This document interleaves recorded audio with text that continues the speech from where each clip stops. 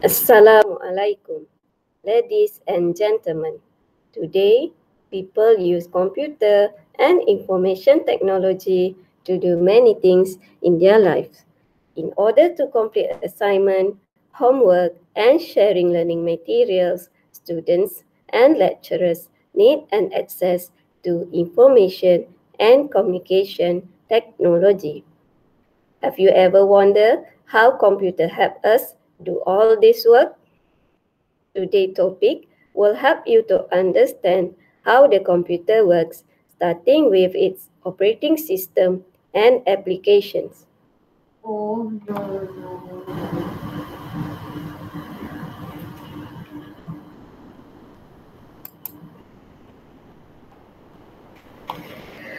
First, let me introduce to you the key concept and definition of operating system, type of operating system, and its function.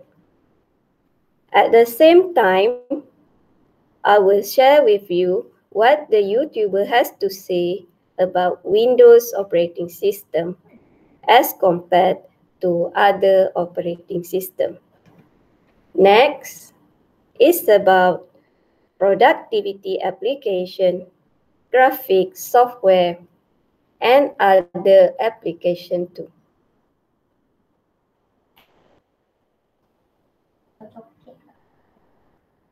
Everywhere we look, computers are a change in a world.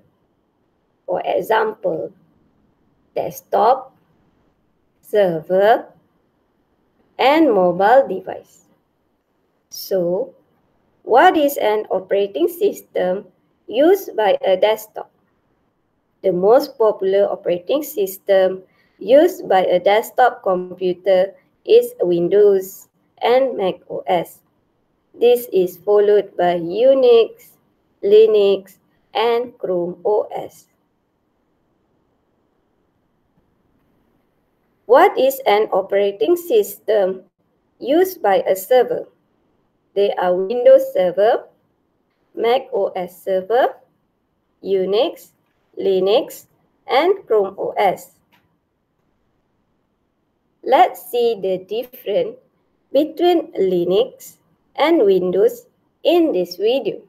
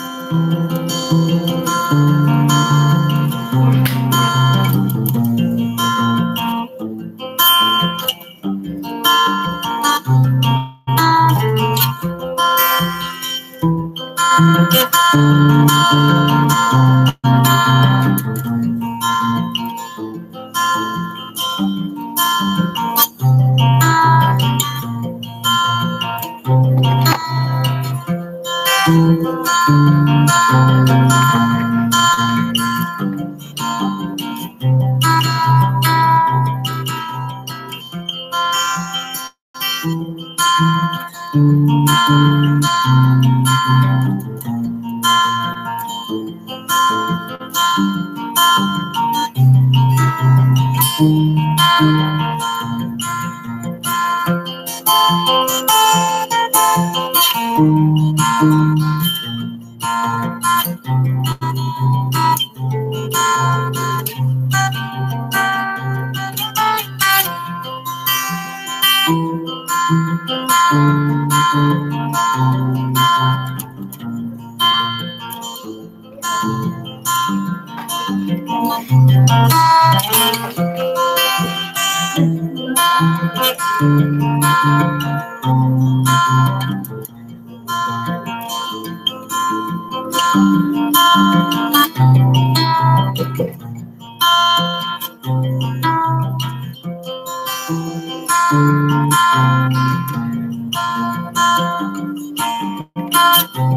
Música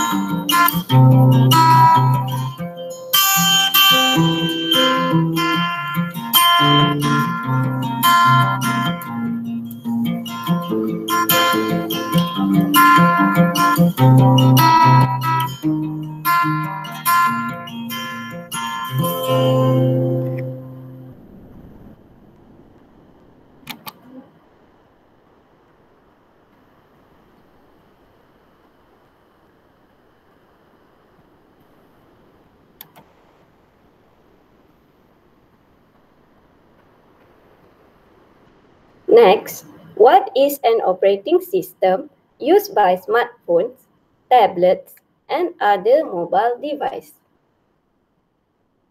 Some of the most popular OS for mobile devices include Android, Apple iOS, and Windows. In the next video, you can see the reasons why some users prefer Mac OS compared to Android. Thank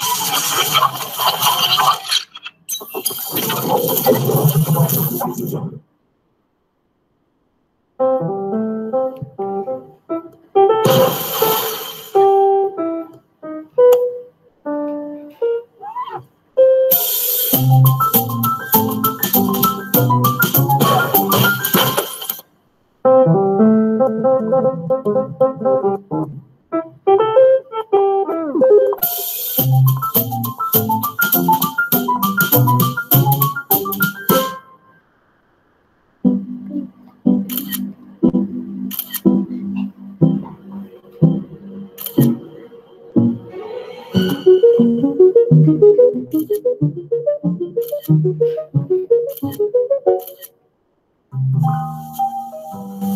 頑張れ。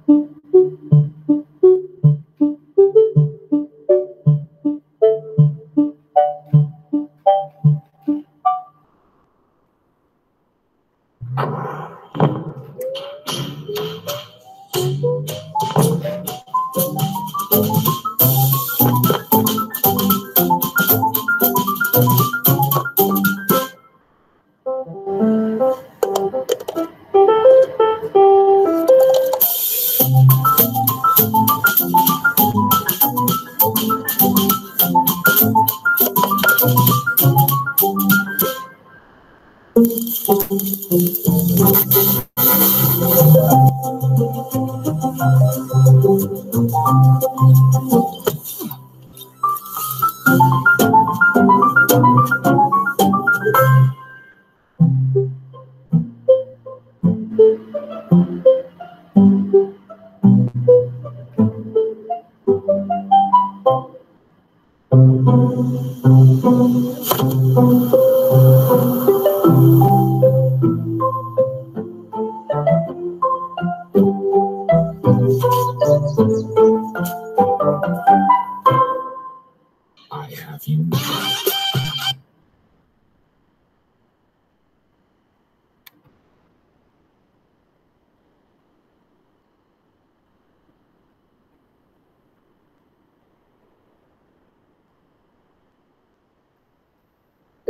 consider the role of operating system and some important functions. As we already know, operating system can perform multiple functions. Some of the functions are to provide a user interface, managing memory, monitor performance, and ensure optimum and effective utilization of resources. What is Windows and when the Windows begins? To answer that question, please watch this video to help you understand the history of Windows.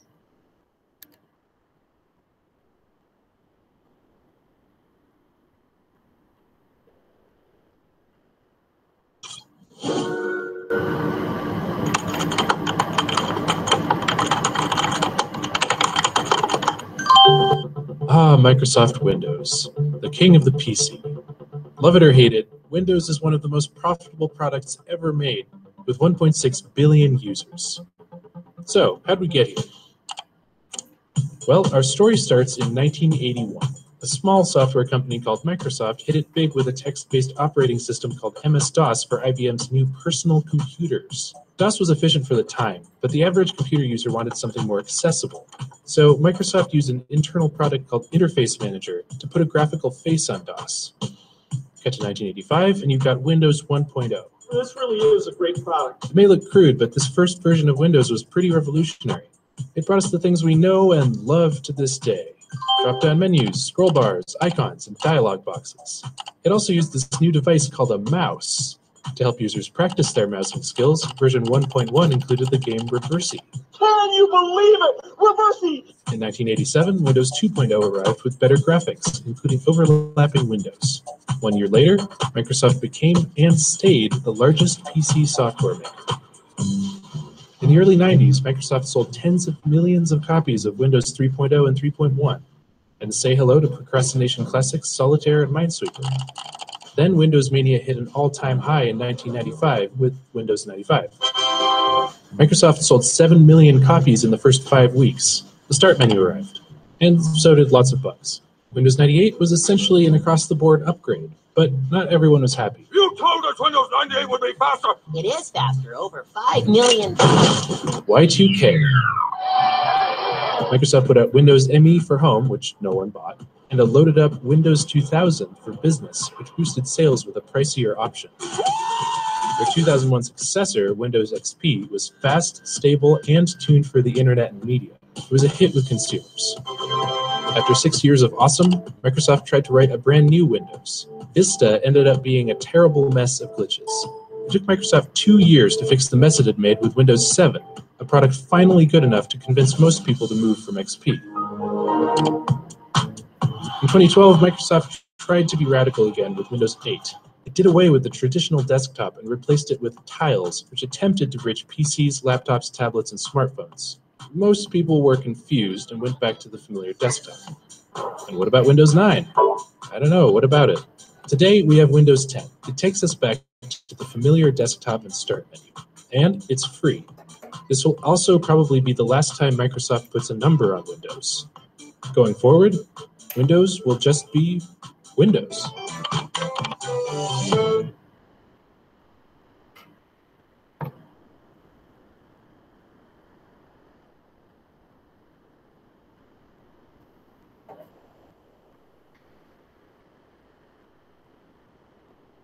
What is operating system?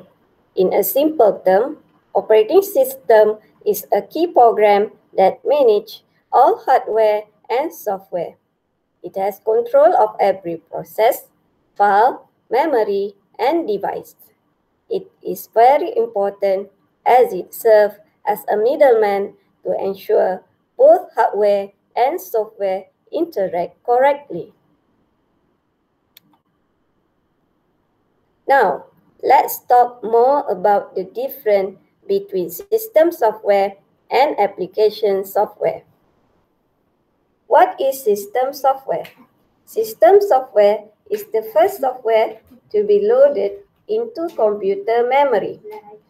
It can manage computer basic functions such as storing data, retrieve file, and scheduling the tasks.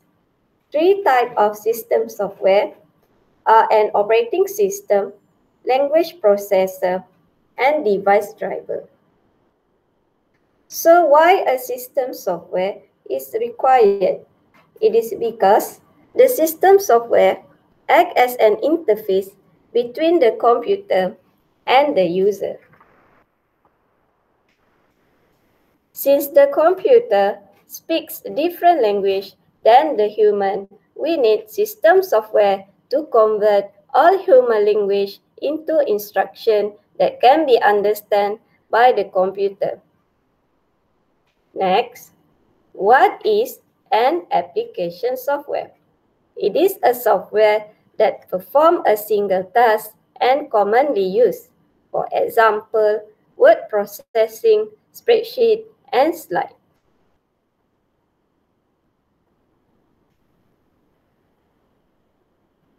How human interact with program and apps.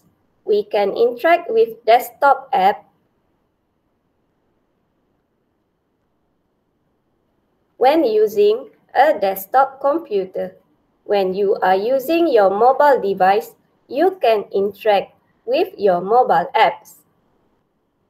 Mobile apps are usually faster and more advanced, similar to web app. Web app is a special type of cloud app that is accessed using the internet by visiting a website in a browser such as Gmail, Google Drive, and Facebook.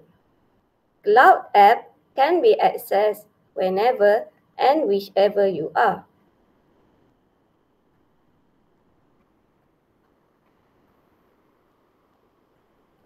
Programs and apps can take many forms. Let's begin with open source software. What is open source software? Open source software is a software whose source code is freely distributed with a license to study, change, and further distribute to anyone for any purpose.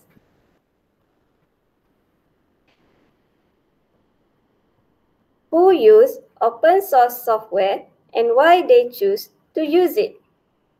Programmer will use and improve upon the open source code and then share the changes within the community.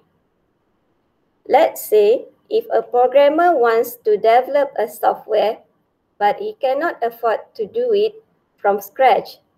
So, as an alternative, he can take the open source software and customize it according to his need. The reasons are because of security, affordability, and locality. What are the types of open source software available in the market? First is freeware.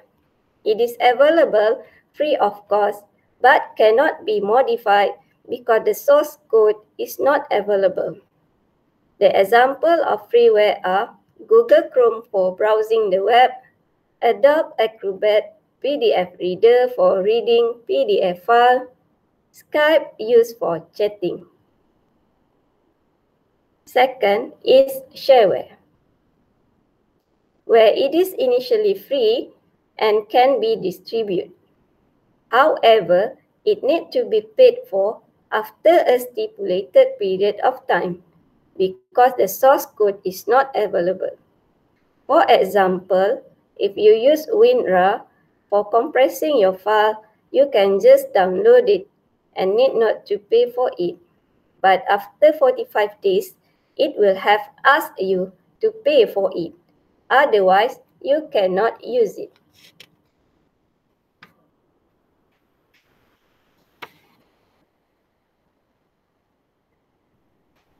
Next is public domain software. What is public domain software? Let's break down that phrase. First is public, which means open to all. Second is domain, which refers to an ownership of things. So public domain means all people can own, modify, distribute, also the software. There is no restriction, no license, no trademark or patent attached to the software anymore. It became a public domain because the term of copyright is expired. So it now belongs to everyone. Custom software. What is custom software? Custom means it is made or done according to customer order. In other words, it is a custom-made software. So we can say that custom software is a software that is specially made to a particular shop or business.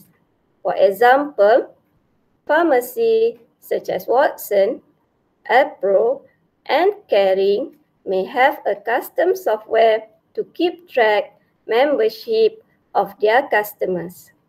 Also, custom software would be able to allow the employees work more efficiently. Retail software is a ready-made software available in the market, such as Google Email, UBS for accounting software application, and games named Angry Bird. The cost is less because it is mass-produced and can be easily set up if compared to custom software.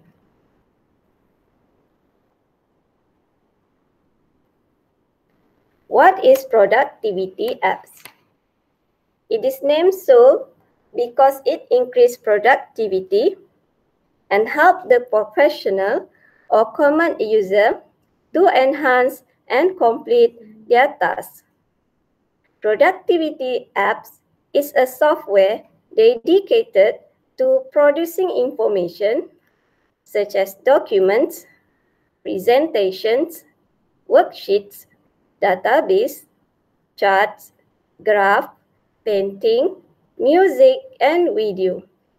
Office Suite, which brought word processing, spreadsheets, and database are the core example of productivity software.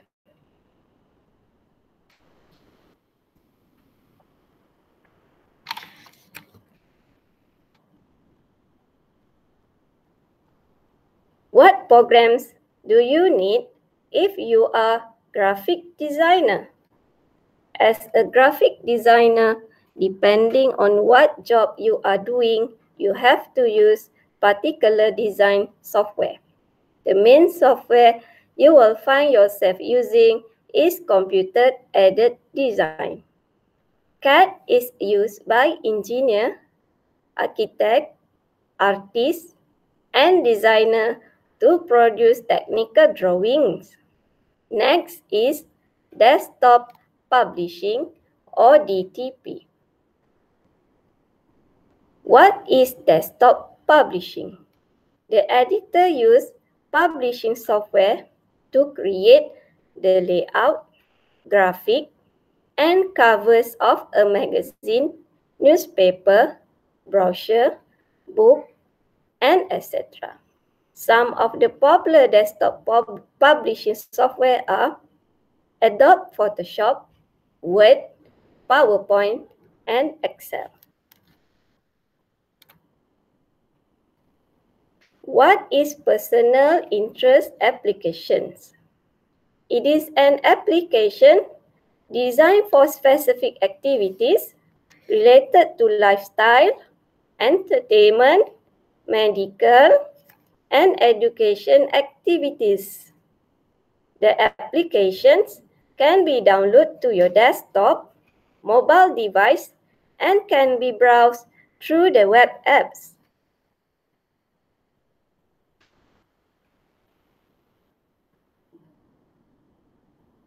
It is common for people to communicate with each other from remote place using communication technology.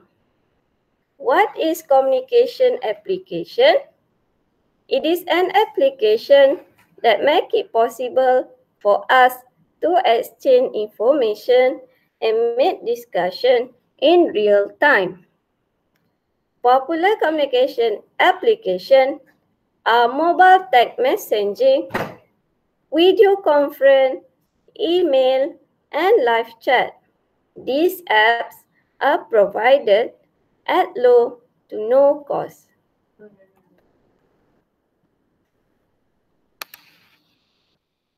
Without anyone noticing, users are exposing their personal data to unauthorized person when using their computers. That is why security is necessary. It is essential for maintaining privacy and confidentiality. In order to keep your computer safe, you need an antivirus program to seek warn and destroy the virus that may harm your computer. In addition to that, you need a personal firewall to protect your computer from potential hackers. Internet filters will help you to monitor and restrict the internet activity, especially when you have children using your internet connection.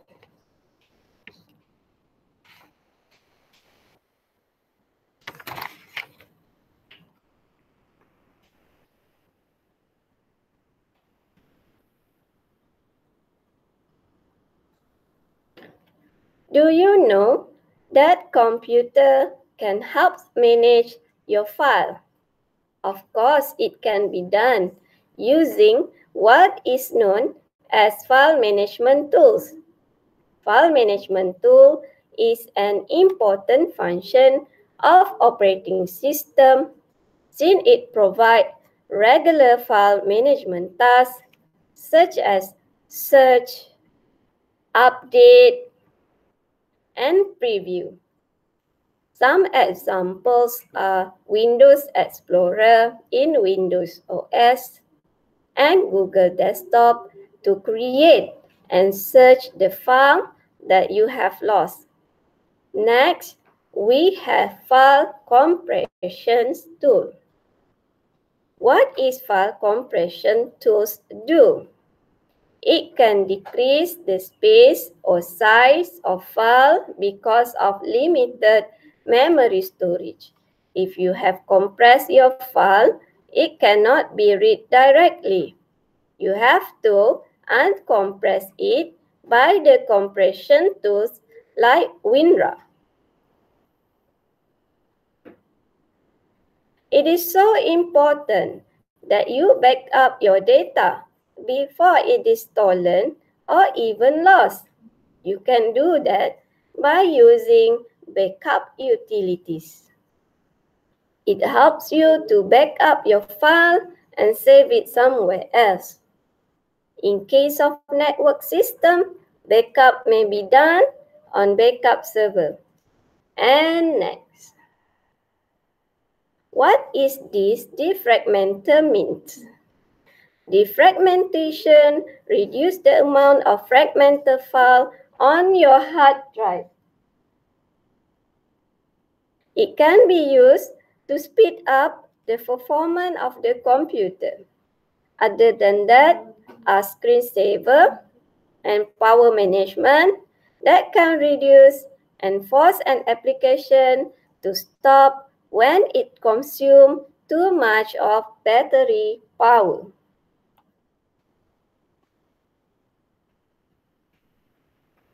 I think I have to stop too for taking too much of your time. And that, ladies and gentlemen, is what I want to share with you.